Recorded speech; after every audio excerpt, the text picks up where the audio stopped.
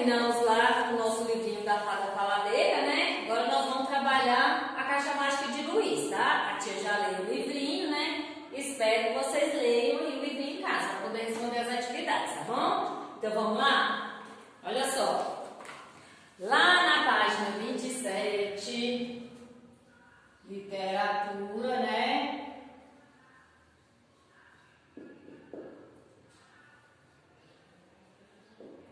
27. Então vamos lá, a gente já leu o livrinho, né? Numere a ordem de acontecimento dos fatos da história. Ó, aí nós temos seis quadradinhos aí com imagens, né? Então fica assim, a gente vai fazer aqui do lado.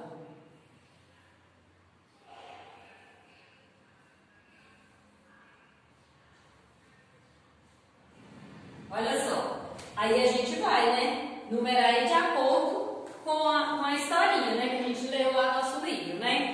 Então, o número 1 um aí, ó, é este aqui, que ele tá nesse, sentado aí em pé, pisadinho assim no foguetinho, com o chapéu de mágica e a varinha, né? Então, aqui é o número 1. Um. O número 2 é esse que tá abaixo, a caixa linda dele, né? Toda colorida. Ele tá levantando a tampa da da caixa aí, né? Número 3, lá em cima ele tá conversando lá com o pai dele, né? Que deu a caixa vazia para ele, né? Que ele não tinha entendido ainda o significado da caixa vazia. Então tá lá em cima, número 3. Número 4, ele tá deitadinho aqui, ó. Todo ansioso. Lembra que ele passou a noite ansioso para saber o que tinha dentro da caixa? Número 5, olha aquela plástica que o pai dele entra no quarto dele e pede para ele pegar todos os brinquedos e colocar lá dentro da caixa, né? E número 6, ó, foi a última que ele encheu de brinquedos a caixinha, né? E ele descobriu a mágica lá que o quarto dele era lindo, né? Não tinha nem como ele ver as coisas do quarto dele, né? Então essa página aqui é 27, vamos para 28 agora. Fica desse jeitinho aí, tá? Página 28. Número 2. Bora lá. Desenhe os acessórios de mágico em Luiz e deixe-o feliz. Aí o que, que você tem que desenhar aqui nele? Uma capa, uma cartola e uma varinha, tá? Eu vou deixar aqui escrito, tá? Desenhar uma capa.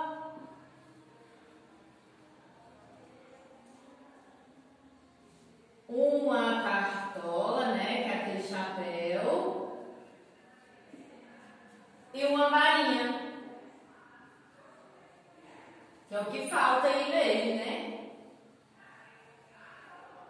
Ei, Luiz, lá no número 3, o pai de Luiz deu a ele uma linda caixa. Marque a figura que mostra o que havia dentro da caixa, né? Aí tem três caixinhas aí, ó. O que, que tinha dentro da caixa que o pai dele deu? Tinha nada, né? Você vai marcar, deixa eu aumentar aqui, peraí. Aqui tem uma bolinha para marcar, né? Aqui tem outra.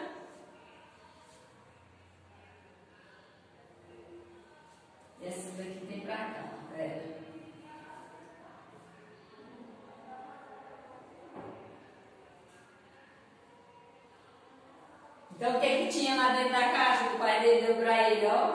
Tinha nada, né? Tava vazia. Por isso ele ficou com aquela cara lá, achando que tinha um grande presente lá, né?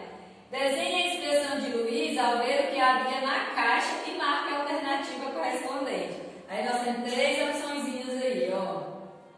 Tem assim, ele ficou alegre quando ele olhou a caixa não tinha nada? Ficou, não. Ele ficou preocupado? Também não, né? Mas ele ficou surpreso. E o que, que você vai desenhar aí para mim? Vai desenhar a expressão de surpresa, né? Então você vai desenhar aí, ó. Uma expressão